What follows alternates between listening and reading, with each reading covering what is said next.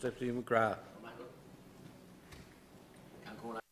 I meant um, and talk to Curran and Fianna Fáil for bringing forward this very important motion here tonight. The numbers involved are truly staggering uh, and terror. As the motion indicates, individuals, families and communities throughout the country have been um, devastated by illegal drugs. Uh, Drug-related deaths in Ireland are the highest um, figure ever, increasing from 41, 431 in 2004 to 736 in 2016 while the increase in the value of drug seizures uh, from 29,706,000 in 2016 to 71,859,000 in 2017. As all of us know, of the communities blighted by this scourge, but, but so our Gardaí, and for that matter, the oral health services have the adequate resources or personnel to deal with the crisis. Of course they don't. It's just shocking what's going on. Only recently in Tipperary, a man was arrested after 110,000 worth of, of, cocaine and cannabis found in his car. He was travelling in the vehicle on Wednesday in the Kilcommon area. Gardaí stopped the car before discovering cocaine and cannabis estimated to be worth 70,000 and 40,000 respectively. There's no doubt that this is just the tip of the iceberg. Our society and our culture is in free fall. Young people and many more ordinary people are now living uh, are now living in a culture where casual drug is used for normalised um, and even expected. If you do not drink or take drugs, there is something wrong with you. That is the perception we have allowed to be created. The European Monitoring Centre for Drugs and Drug Addiction report in Ireland for 2018 has observed the following. The available data suggests that drug use has become more common among the um, adult general population aged 15 to 64 in Ireland.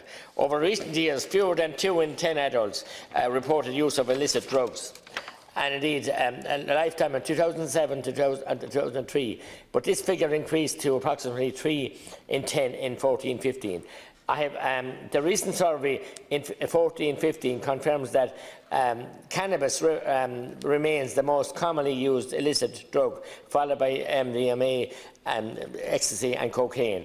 All of the statistics indicate that urgent action needs to be taken pursuant to robust anti-drug strategy. And Minister and um, Goncola, it is shocking what's going on. And we sat, I sat for three and a half hours last week, and Deputy Catt was as well, with our new Garda Commissioner, who closed his eyes to all of this and does nothing, no problem. And we have six Gardaí in the Drugs Task Force in Tipperary. We would need six in Clonmel alone. We'd need 60 in the county. It's an epidemic. And when I hear deputies like Deputy Kenny here saying it's social and recreation and everything else, we're trying to sanitise this uh, epidemic. We can't sanitise it because it's devastating impacts and they want to legalise, uh, you name it. Here's them all in a list here and it's lovely and it's sexy and it's dandy. I tell you it's not. It's wreaking havoc on our communities up and down the country here and a blind eye has been turned by this department. Your seven predecessors, or maybe eight of them, got together last week, Minister, or eight this week, and I saw them, and I worked, for, I worked uh, closely with some of them, like the, uh, the former Minister Pat Carey, and they expressed horror and shock at what's going on. And the Gardaí are turning, they're not turning blind eyes, sorry. They have the numbers, they have the resources, they have the wherewithal to deal with it. I'm not blaming you, Minister, but you are in charge in this government here and three and a half years into it. And you have just allowed it to mushroom and take part because you have the posh boys in the government here. I won't say what I was going to say, but the posh guys, that everything is fine, everything is dandy. Let him eat cake. Let him eat cake in the country while Rome burns. We are devastated. I have children, I have grandchildren just born, and I'm proud to have them, lucky, the privilege to have them. Where are they born into? It's devastating what's going on. The drugs, the corruption, the money, the, the, the, the, and the bullying. In my own town in Clonmel and Tipperary, in Carrick-on-Suir, we don't have Gardaí. Forget about it. I gave the rosters to the Commissioner last week. I haven't here to the Minister on the issue recently. They don't care. They don't want to know. They're fine It's down there in Carrick-on-Suir. doesn't bother us. It's disgraceful that ordinary tax, law-abiding taxpaying citizens are left to, to, deal with like this, and the amount of suicides, and the amount of threats and intimidation, and the amount of bullying that goes on with small drug debts, and families in a, in a weekly basis in my clinics whose loved ones are in their graves, and they have been uh, bullied and threatened to pay their debts, and it's going on all under the radar and it's all fine. It's not fine. It's just an epidemic that's going to encapsulate us and drag us down.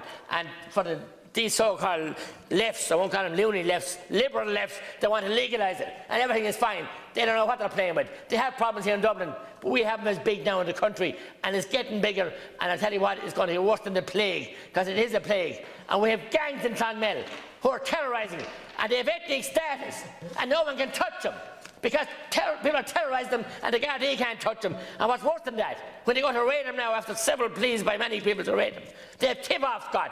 It's a dirty, murky underworld. A dirty, murky underworld, Cola, you can calm me down if you like. It's going on in front of my eyes. I'm living through it, and we're going to suffer the consequences. And these marauding gangs of thugs and bullies, with their sulkies and with their bikes and everything else, and nobody can challenge them, and the Gardaí have the resources to tackle them, and it's, all, and it's the same in every other town and village in the country as well. Gangs, warfare, money, and it's all about power. If we don't deal with it very soon, there'll be no dealing with it. Gormacut. That the Garda Commissioner was turning a blind eye. I did. You didn't mean that, I'm sure. I didn't mean it. I spoke to him last week for, I sat for three hours with him. Right, so I he thought, told me he had enough I thought resources. you didn't mean it, okay, all I, no, I didn't mean it. He had enough resources, he told me, adequate resources to deal All with right. it. He's, he's either being castrated by the system All right, now. no, no, no, that's okay. I thought you